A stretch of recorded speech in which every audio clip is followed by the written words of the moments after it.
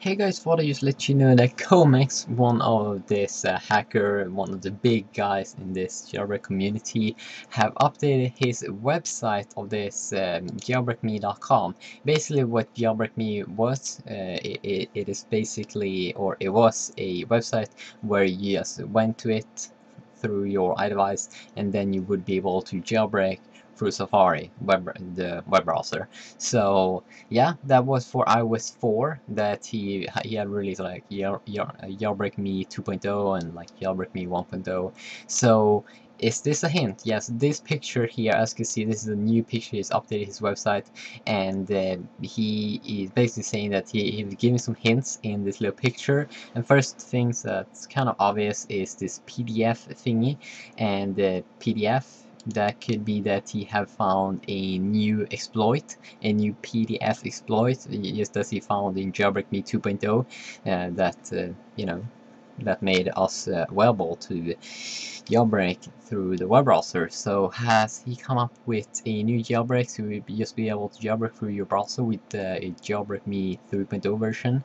I'm not sure, I'm not sure. But uh, he also could have leave some more hints like uh, this uh, diamond here, this uh, little diamond shaped icon there that uh, that one stands and refers Alpine and Alpine is this default password for root access to the iPhone and this is something that you know the iPhone download blog, they made some detective work and they discovered that.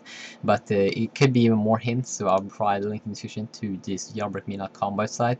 And interesting question is obviously if he have now found a new way to jailbreak, is it going to be for iOS uh, 4.3.3 or is it going to be for iOS 5, the beta version now that's out right now?